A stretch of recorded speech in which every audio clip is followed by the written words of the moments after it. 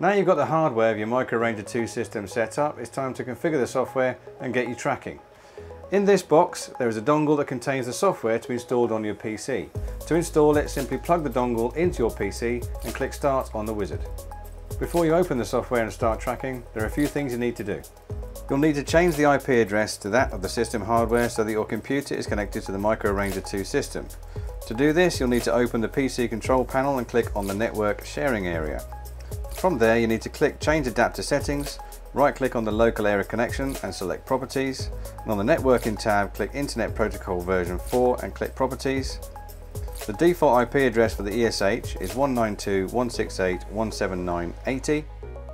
We will set the PC to IP address 192.168.179.100 and click OK. You can now open the software by clicking on the Ranger 2 icon on the desktop. When you first open the software, it will display the system setup menu with the elements that you require, such as a vessel, a transceiver and underwater target. In any acoustics positioning system, it's important that the locations of the various elements are known and entered into the software. In MicroRanger 2, you only really have two elements, the GNSS antenna and the transceiver. Some vessels have what's known as a common reference point, normally at water level. If this is the case, then when deployed, you need to measure as accurately as possible the locations of the GNSS antenna and the transceiver relative to this reference point. If you don't have a common reference point, don't worry. Leave the transceiver settings as zero, and all you need to do then is measure the relative position of the GNSS antenna. For example, and to keep things simple, if you deploy this antenna on the top of the transceiver pole, you only have one thing to measure, and that's the vertical distance between the two. And this is what you enter on the GNSS settings in the software. To configure the GNSS, select it here on the job tree. You'll see the distance from vehicle CRP at the top right hand side of the settings page. This is where we enter those measured offsets as discussed. The COM settings should be port ESH5 alpha with a baud rate of 115200. These should be set as standard, but if you need to change them, you can change them here.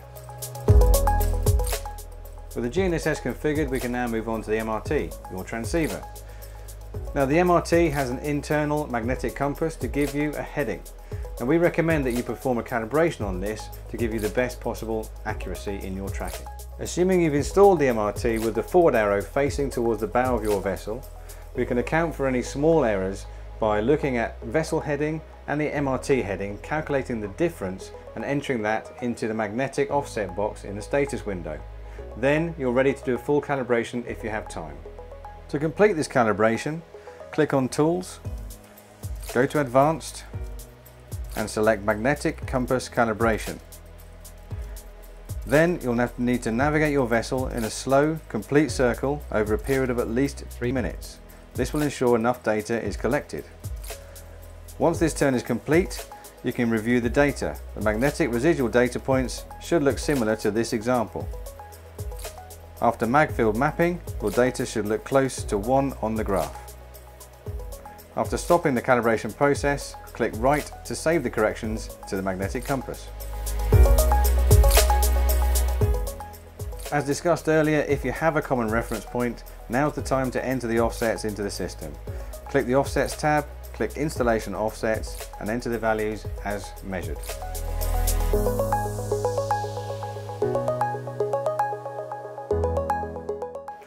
And that's it, you're ready to start tracking.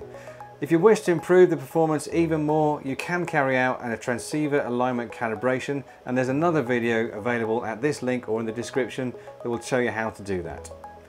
There's more information about MicroRanger 2 on our website or if you need any more information you can always get in touch.